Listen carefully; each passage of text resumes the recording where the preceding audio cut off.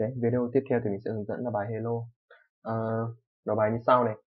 Đấy chính là các bạn Vasia này đang đăng nhập vào internet và anh ta uh, lập tức bước vào một phòng chat và quyết định nói xin chào với mọi người. Vasia gõ cái số S, ok. Vasia được coi là nói xin chào nếu một vài chữ cái có thể bị xóa khỏi từ đó để nó dẫn tới từ hello. Ví dụ như là bạn ấy gõ chữ như thế này thì uh, nếu mà mình xóa đi một vài ký tự ở trong cái sông mà mình đang bôi đen ấy nó có thể tạo ra từ hello ok? Anh ta sẽ nói rằng anh ta không xin chào nếu anh ta gọi từ h l e l o và sẽ bị coi là Vasia bị hiểu lầm và anh ta không thể nói xin chào được. Hãy xác định xem Vasia có thể nói xin chào bằng từ đã cho hay không. Nói tóm lại đấy là họ sẽ cho mình một sâu ok? Và bạn có thể xóa đi bất cứ một cái ký tự nào ở trong cái sâu đó và họ hỏi là liệu rằng bạn có thể xóa đi các ký tự ở trong sâu để tạo ra được cái từ là từ hello hay không? Ok? Và input thì nó chỉ là một cái số s đấy thôi, không quá 100 ký tự chữ cái, viết thường. Và mình sẽ in yes nếu mà bạn có thể xóa đi các ký tự ở trong sâu để tạo thành chữ hello, còn nếu mà không thể xóa được thì mình sẽ in no. Chỗ này là chữ a thường nhé. Rồi.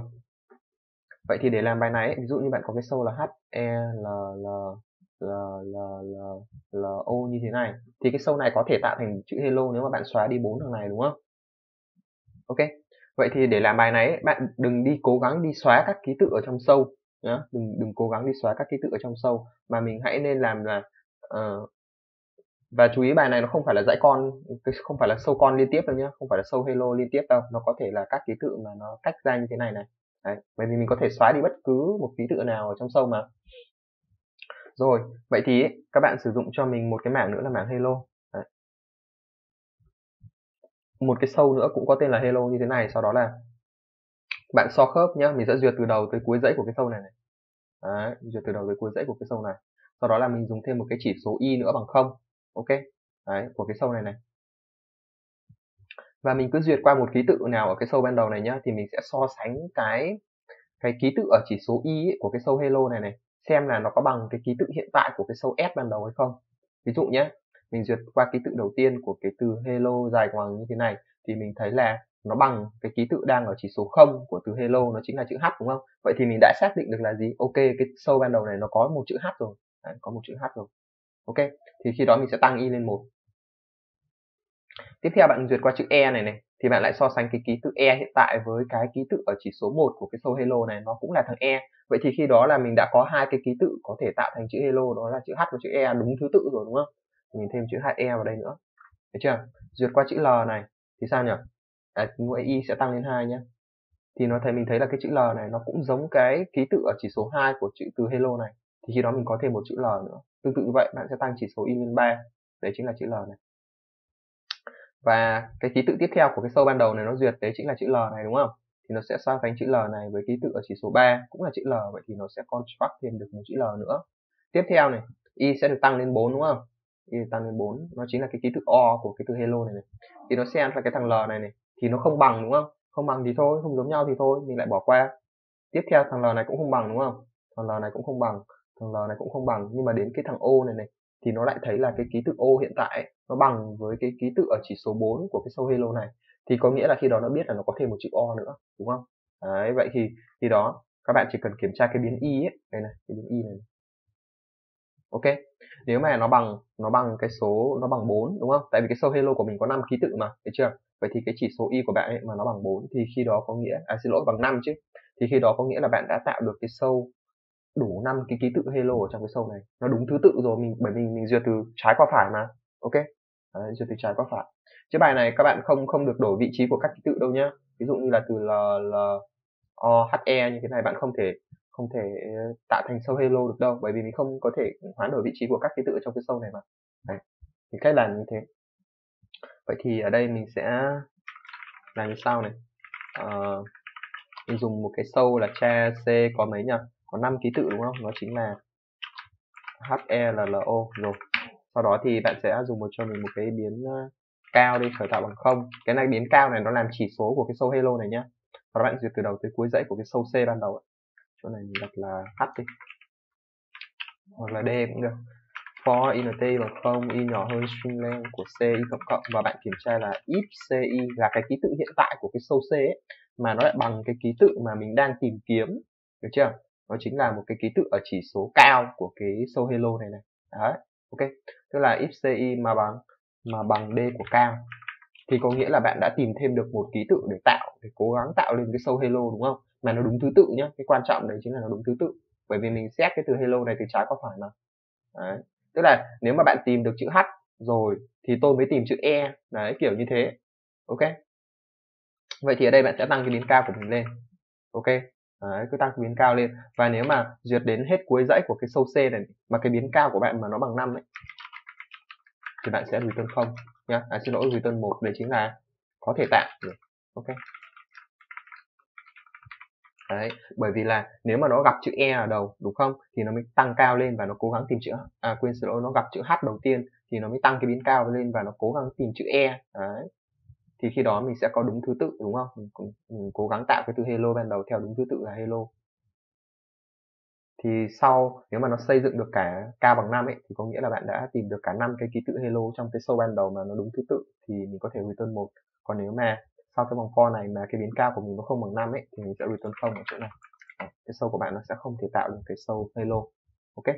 Đó. chứ bạn không cần phải xóa không phải cần xóa các ký tự đâu vì việc việc xóa cái ký tự rất là khó.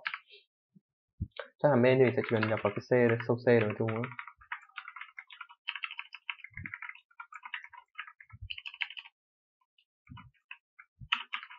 sau đó bạn kiểm tra if so cái c thì mình sẽ in yes đúng không?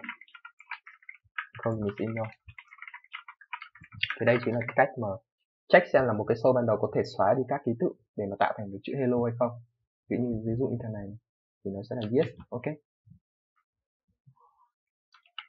Bài này các bạn có thể uh, không nhỏ lắm nó có thể có có trên code form và cũng có trên NTU coder thì phải. Ừ? hello. Cha d5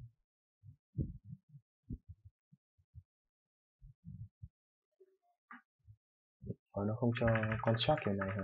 Nếu là có là gì? H này. E này. L này.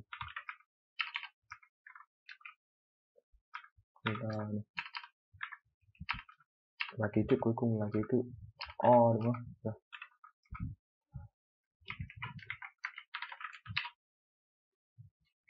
Thì trong trường hợp này nó sẽ in ra là yes thôi, ok. Đấy. Thế còn nếu mà cái sâu của bạn mà không có thể tạo được chữ hello thì nó sẽ in ra no, ví dụ như cái sâu này.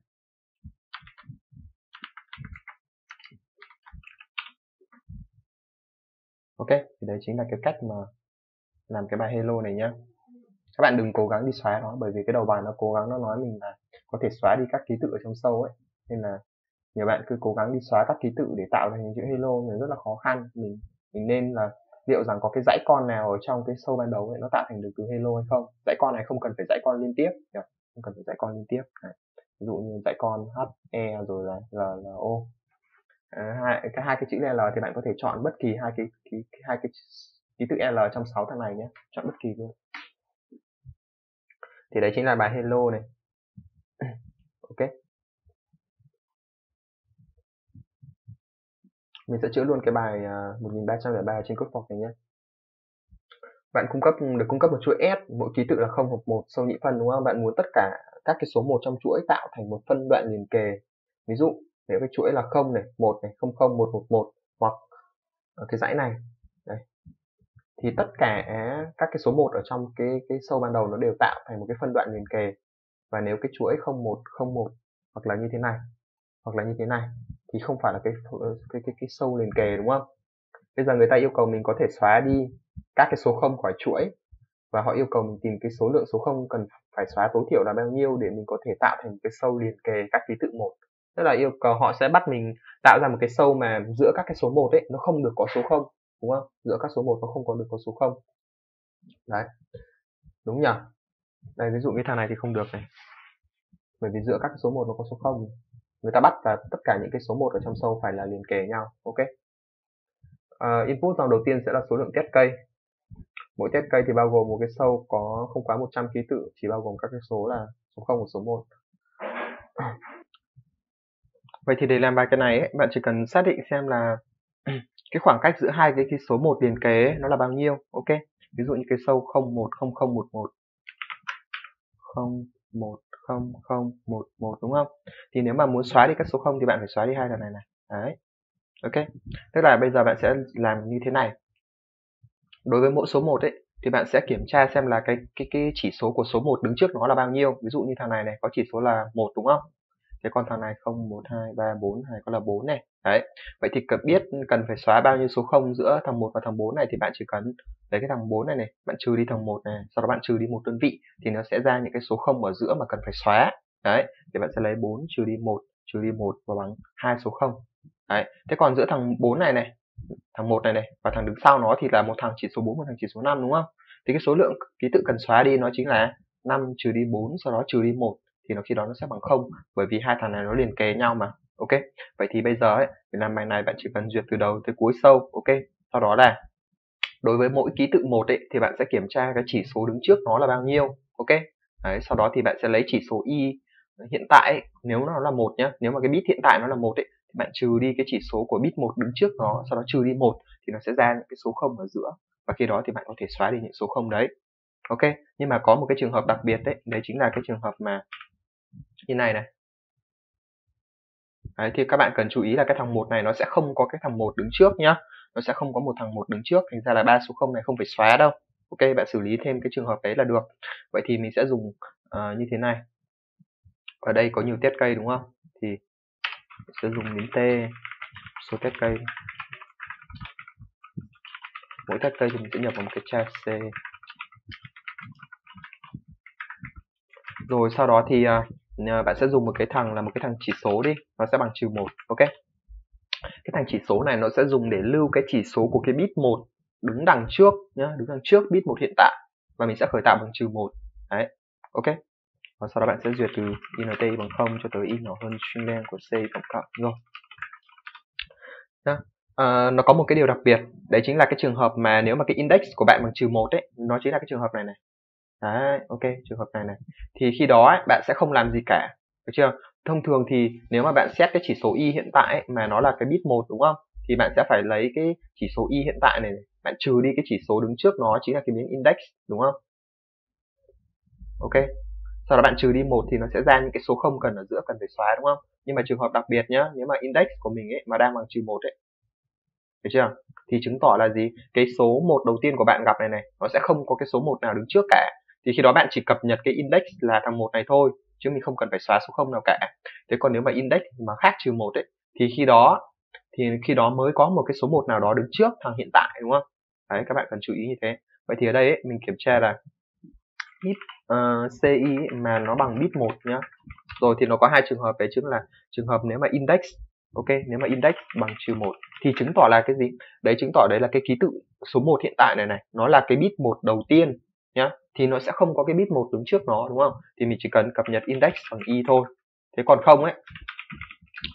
Ờ, ở đây mình cần một cái biến rest nữa để lưu kết quả này. Còn không ấy thì có nghĩa là cái cái biến cái chỉ số y hiện tại này này nó đã có một cái thằng một nào đứng trước nó rồi đúng không? Đứng trước liền kề nó rồi. Thì khi đó bạn chỉ cần bạn sẽ chỉ cần cập nhật cái số lượng số không cần phải xóa nó sẽ là cái chỉ số y hiện tại trừ đi cái chỉ số y của nó đứng trước nó sau đó trừ đi một đơn vị ok phải nhớ nhé, và nhớ cập nhật index bằng y được chưa? Để lần sau ấy, để ký tự lần sau mà, ký tự bit bit một lần sau mà bạn gặp ấy, được chưa? Thì nó sẽ có cái biến index là cái chỉ số y chỉ số 1 của thằng đứng trước, ngay đứng trước nó. Nhớ phải cập nhật chỗ này, còn không thì cái biến index của bạn nó sẽ không được cập nhật đấy ví dụ như thế này này. Không không không, một, không không, một một, đấy. Thì ban đầu mình khởi tạo cái biến index bằng trừ một, đúng không? Ok? Và các bạn duyệt qua không thì thôi duyệt qua không thì thôi duyệt qua không thì thôi. Duyệt qua một ở đây thì cái chỉ số của ông này là ba đúng không? Y bằng ba. Thì khi mà bạn kiểm, kiểm tra cái biến index ấy, nó bằng trừ một thì chứng tỏ là cái thằng này là thằng đầu tiên số 1 đầu tiên. Thì khi đó bạn chỉ cần cập nhật index bằng 3 thôi. À, index bằng 3 thôi. Chứ mình không cần phải xóa đi số không nào cả đúng không? Bởi vì trước đó nó không có số 1 ở đây này. Đấy. Sau đó thì bạn lại duyệt qua số 0 duyệt qua số 0 duyệt qua số 1 ở đây thì ông này có chỉ số là 3 4 5 6 6 đúng không? Ừ thì khi đó ấy, bạn sẽ lấy cái kỳ, chỉ số y hiện tại là 6 này này bạn trừ đi cái chỉ số của biến y của của cái biến biến bit bit một đứng trước nó này, này. Ok nó đang lưu ở chỉ số là chỉ số 3 thì khi đó cái số 0 cần phải xóa đi ấy. Ủa, chưa. Cái chỉ số 0 mà mình cần phải xóa đi á. Cái cái bàn này nó hơi bị lát một tí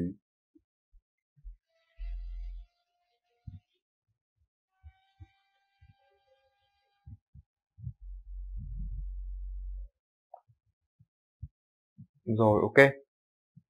Đấy, duyệt qua thằng này nó có chỉ số y bằng 6 đúng không? Đấy, mà mình đã có cái chỉ số của cái bit 1 đứng trước nó đang là 3 rồi, đang lưu ở biến index rồi. Thì cái đó cái số lượng số 0 cần phải xóa đi nó sẽ là 6 trừ đi 3 trừ đi 1 và 2, nó chính là hai số 0. Đấy, sau đó bạn làm phải làm thêm một cái gì nữa. Bạn phải cập nhật cái index bây giờ nó chính là chỉ số của ông 6 này này. Đấy. Được chưa? Sau đó bạn duyệt qua cái chỉ số y này thì ông này có chỉ số là 7 đúng không? Thì cái số lượng số 0 giữa chỉ số 6 này và chỉ số 7 nó sẽ là 7 trừ đi 6 sau đó trừ đi 1 thì nó bằng 0. Đấy. Vậy cuối cùng thì bạn chỉ cần xóa đi hai số 0 này thôi là bạn có thể tạo thành một cái sâu mà các cái số 1 trong sâu bắt buộc phải liệt kề nhau. Ok? Thì đấy chính là cái cách làm của bài này. Ở dưới đây thì uh, mình sẽ in ra cái biến cao, uh, biến rest và xuống dòng nhé. Thì đấy chính là cái bài mà tạo ra được một cái sâu mà các cái số một liền kề nhau bằng cách xóa lượng, xóa các số không ở giữa. Rồi.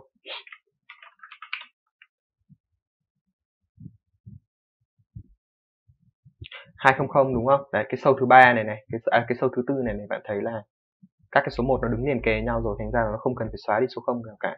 Còn cái sâu này thì chắc chắn nó sẽ phải xóa đi hai cái số 0 ở giữa này. Ok? Đấy, thì đấy chính là cái cách làm của bài này. Cũng không không không quá khó khăn đúng không?